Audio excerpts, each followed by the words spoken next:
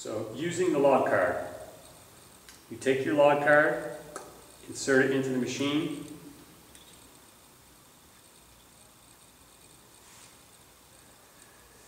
and then it will read what's there. At this point in time, if it's a brand new machine, it will ask you if you'd like to format the card. You would press yes, wait for it to format the card, and then you can add a user. So add a user, and then what you use is the cursor buttons here to go up or down.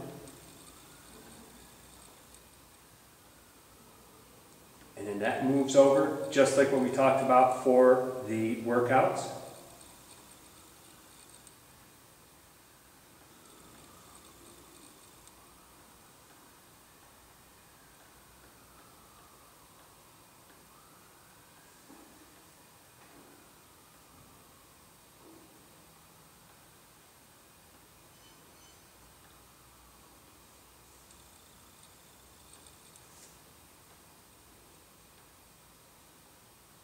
So you also can go caps at any time,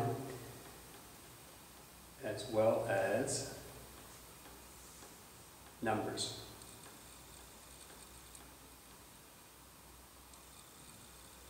And when you're done with it, just click OK, and you're good to go. So you can go back to the main menu, which we already talked about, or you can go to the log card menu. And here you can have a summary of what's on your log card and there's nothing on my log card. So what you would normally have is your all-time meters, the amount of time that you rowed, the number of workouts that you rowed, the average of the 500, the meters per workout, the time per workout, and interval rest meters. You can look at it by monthly totals, You can list it by the dates. They would come up and the date would be there. You can list it by the type. So single distance, single time, interval distance, interval time, and intervals variable.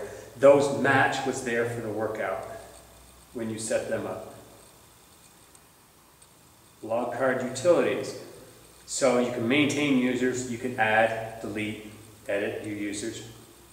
You can delete a workout so if there's a workout on there, you would like to delete it, you go, again, you cursor up or down, and then press the button to delete. If you'd like to move a workout, so what we'll do is we'll move one of these workouts. So you can see, just I'll pick that one there. So I'm going to move it to my log card. Now it should be on my log card. So I'll go in here and we'll look at a monthly total. And there it is. So now, what I'd like to do is delete a workout. We'll pick it and delete it, and now it's gone. Then you can edit your custom list. So you can take the list that's already there, you can copy all of them over, or you can copy one of them over. So now it's onto your log card. When you're done with that, you can simply remove the log card and you're ready to go.